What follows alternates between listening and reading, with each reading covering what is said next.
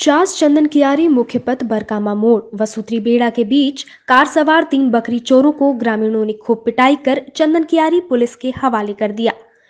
Police ने तीनों चोर व कार कब्जे में लेकर चंदन कियारी थाना ले आए। आठ शून्य शून्य कार संख्या डब्ल्यू एम एफ़ पाँच चार दो सात है।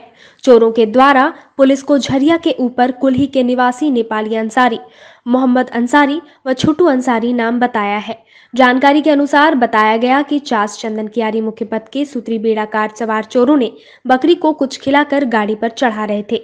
उसी वक्त किसी ग्रामीण ने देखा और विरोध करने पर चोर भागना शुरू कर दिए, जहाँ ग्रामीणों ने उसे घेर खूब पीटा। बाद में पुलिस के हाथ सौंप दिया। चंदन कियारी थाना पुलिस चोरों से पूछताछ कर रही है।